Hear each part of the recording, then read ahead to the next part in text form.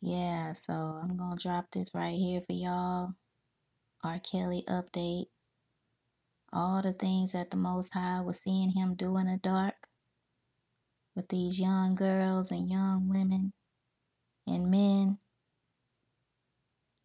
that had the Most High furious with him. It's now coming to the light. Goodness.